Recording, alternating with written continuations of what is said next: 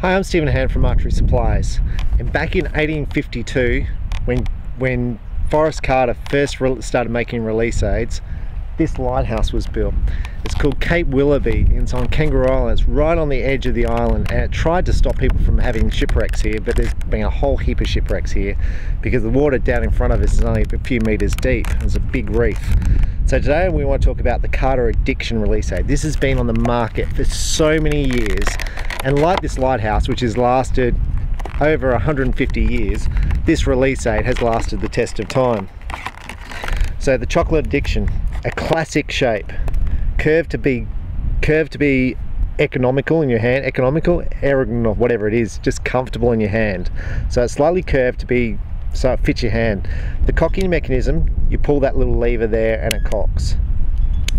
So nice and simple to cock it. You'll notice the thumb position on the trigger, it sort of comes back around like that. It's meant to be comfortable and you can see that this trigger comes right in that in that corner of your hand. Really comfortable to shoot. So very easy to load and nice and comfortable to shoot.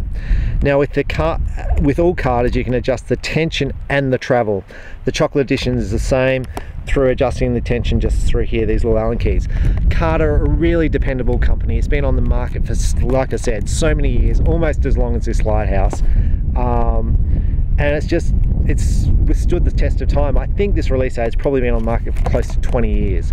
Still sells really well today chocolate addiction from Carter. Back in the old days, before D-loops were around, they used to use a rope, which you went in through these holes here. You wouldn't use that today. Today it just connects straight to the D-loop, but nice and easy, and still it should be a choice for top-end target shooters thinking about what release aid to buy. Um, chocolate addiction from Carter,